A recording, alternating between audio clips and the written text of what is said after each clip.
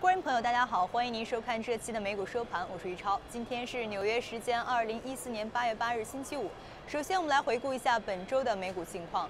周一美股高收，继上周大幅下跌后有所反弹，但于周二收跌。由于利好经济数据可能促使美联储提前加息，美股周三虽开盘即受到欧股下跌承压，但收盘微幅上涨。但于周四急转直下，道指跌至四月末以来最低水平。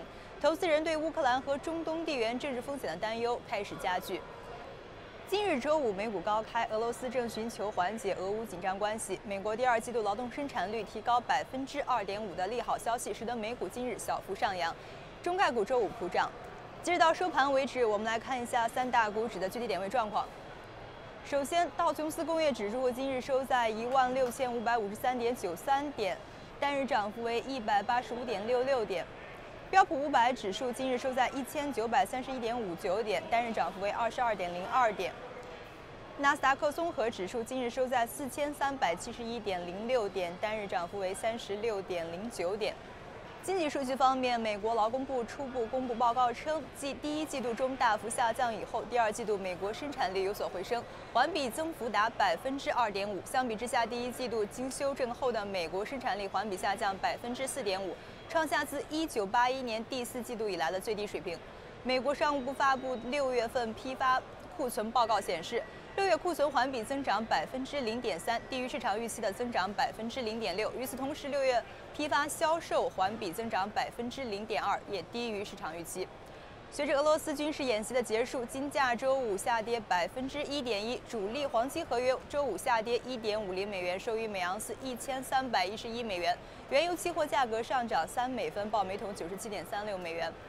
在板块方面，周五美国总统奥巴马宣布授权在伊拉克进行有针对性的空袭，同时俄罗斯寻求对乌克兰的降级冲突方案。地缘政治的不稳定使得投资者纷纷远离风险资产，板块今日窄幅波动。其中，在今天走强的板块包括消费者必需品和非必需品、能源和工业，而科技板块在今日处于领跌状态。其他走弱的板块还包括了金融、医疗和通信服务。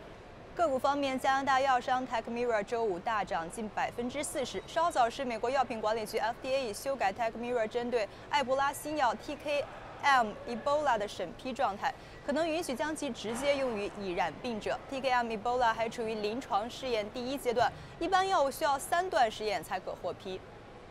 麦当劳周五股价下跌，公司在今天公布了七月份的同家店面销售数据。数据显示，七月份麦当劳全球同店销售下降百分之二点五。麦当劳方面主要称为，主要由于继续面临基础广泛的挑战。服务零售商 Gap 今天七月份的同家店面销售收入增长百分之二，超出市场预期。Gap 在周四美股交易后中上扬百分之四点六，周五持续上涨。中概股今日普涨，多只中概股逆势上涨。优酷土豆今日涨幅乐观，股价上升至百分之八，至二十一美元每股。面对中国广电整顿风暴，优酷土豆以一项五千万人民币的投资，曲线找到牌照方支持者国广东方。未来双方将联合开展互联网电视相关业务。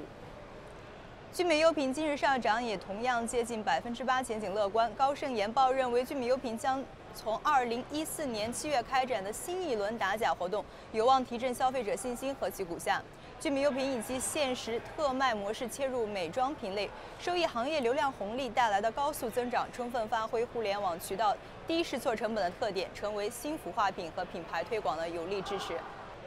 移动猎豹在经历这周盘中强劲涨幅百分之十二的势头后，于今日开始下跌。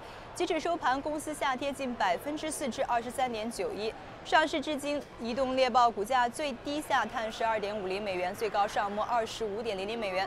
今日受到持续发酵的地缘政治危机影响，移动猎豹出现了小幅下跌。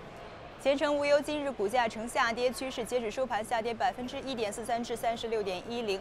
公司在股东会议中批准将董事会最初于零八年九月三十日宣布的股票回购计划的规模增长至七千五百万美元。